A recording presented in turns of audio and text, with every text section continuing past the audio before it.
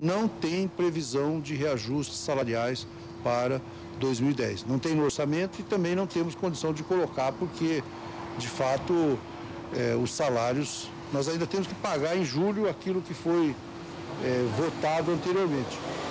E o presidente fez um.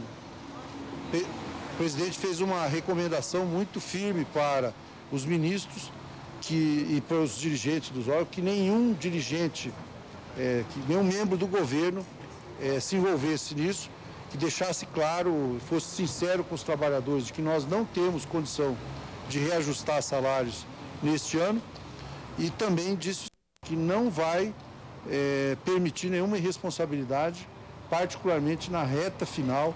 Ele não quer deixar nenhum problema é, de, de, de grande monta para o próximo governo. Acha que nós não ganhamos nada se nós fizermos irresponsabilidade e que não vamos jogar também a credibilidade que nós adquirimos em termos fiscais, em termos de responsabilidade fiscal.